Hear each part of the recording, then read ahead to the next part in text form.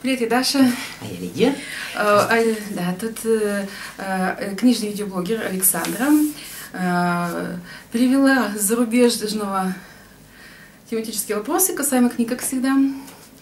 И мы подхватываем. Вопрос. Вопрос первый. Представьте, что вы сидите перед камином. Кстати, столько лет прожила, ни разу не, не сидела перед камином. Ужас-то какой. Наверное, я Зато ты, зато ты перед печкой сидела. Э, Да, мне тоже совсем одинаково. Вы читаете, и возле вас стоит чашка с чем-то горячим. Что это будет в вашем случае? Чай, кофе или горячий шоколад?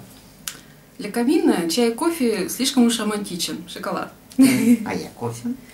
Ну, ты Вопрос, вообще кофейная душа. Ну да, кофеманка. Э, Вопрос второй. Если бы у вас был шанс переписать или изменить судьбу героя книги, кого бы вы выбрали? Благодарна это дело, не люблю такими вещами заниматься. Да.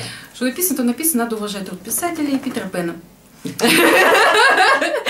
А мне, а мне пришел на ум почему-то раз Ван Долин, когда взорвали. э, И не, без И спойлера. он всю жизнь был, и он всю жизнь был несчастен. Массу, я, массу Акунину я никогда не прощу.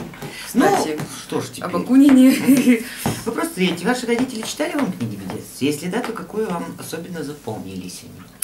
Читали. Но в силу того, что я очень рада, рано научилась читать сама, поскольку я там 4, 4 то как-то у меня за гранью памяти осталось это. Ну, единственное же, я помню, уже я не по, уж читал или нет, а просто рассказывал это, это, но вот папа очень часто мне рассказывал о книжне Ольге. Ну, ты сам. Особо он восхищался, как она там голубей запустила, чтобы Кошмар они устроили пожар у древлян. До сих пор Ну, помню. а если э, что касается меня, то мне в детстве книги не читали, не досуг было. Ведь в единственной комнатке, ты, кстати, в избушонке, там ютились бабушки, дедушки, еще... А что, разве Мы- этого дома не было? Ну, строили же где три его. этажа. Вот как Ой, раз. три этажа. Что я сказала? Три комнаты. Вот когда Галя родилась, тогда я переехали. А. Так строили дом, работали. То есть, не, нет. А я тоже, э, так сказать, ты меня пошла, я сама научилась читать. Правда, не, не родители, а подружка соседская, так сказать, чуть-чуть меня постарше. И потому с, с миром начала читать э, сразу захлеб сама и, и, э, до сих пор. Так, вопрос четвертый. Вам больше нравится запах старинных антикварных книг или запах новых, только что купленных? Конечно, старых.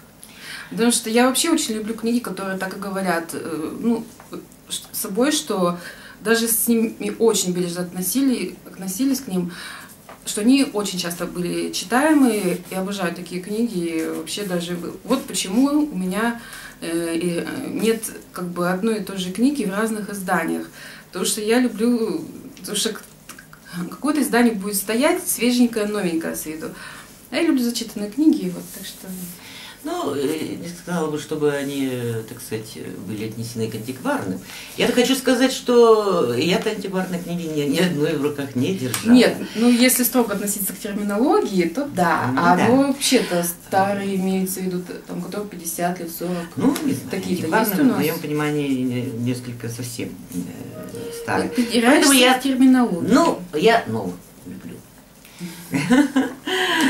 Вопрос пятый. У вас есть возможность выбрать один из двух тайных талантов, приносить в свой мир то, о чем вы читаете, или самому попадать в мир книги. Что вы выберете? Очень тем, потому что мы как раз вот неделю назад буквально прочитали обе а, в этом в книгоотчетнике чернильную трилогию, там чернильное сердце, чернильная кровь, чернильная смерть. И там лишь как раз о переносе. Самому нефиг э, заставлять страдать э, персонажей книг из-за моей какой-то прихоти. Ну, я тоже. Я самому того же туда мнения. интереснее. И я того же мнения. Вопрос шестой. У вас есть любимое детское произведение сказка? А, Сергей Белоусов это немножко не та часть, э, это вторая уже часть, а у меня самая любимая первая вдоль парада для приключения Печенюшкиным. Там. А, ну, слишком много лет прошло, конечно, но мне почему-то запомнилось, я любила, видимо, все-таки детская тяга к чудесам и к обладанию чем-то волшебным, что исполняло бы желание, все это естественно. Поэтому мне почему-то запомнилась сказка «С- «Цветик-самоцветик».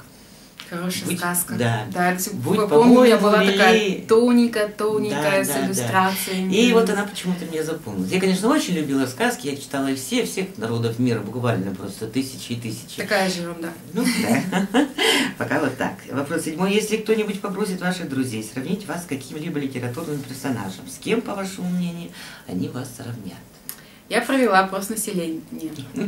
Ну, к со- к сожалению, никто из моих друзей не зачитывается книгами. Э, Одна так вообще за всю жизнь только одну и прочитала. И то я ей буквально впихнула. Да. Э, Вот. Я пошла от обратного. То есть мне сказали, э, как бы одна из знакомых не поняла вопроса, она сказала, что я похожа на сову. Я стала вспоминать, вспоминать в каких книгах, кроме Винни-Пуха, сова есть.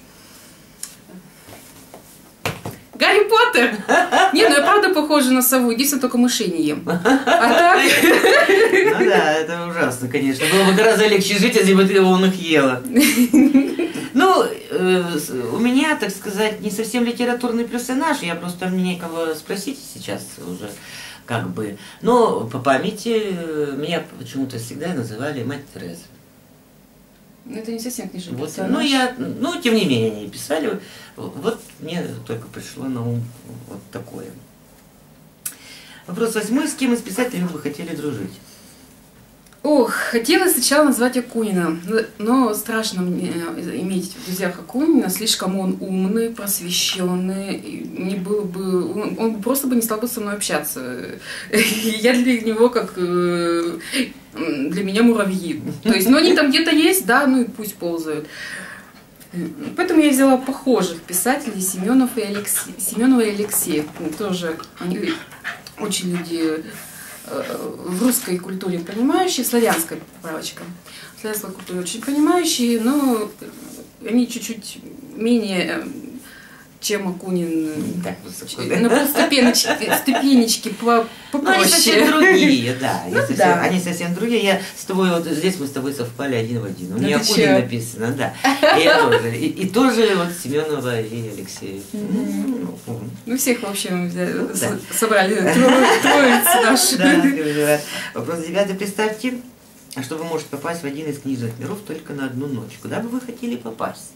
Вот этот вопрос меня просто в тупик поставил. Я сидела, думала, думала, потом просто взяла и посмотрела э, все книги. Э, Я только последние три года веду учет, что именно я прочитала.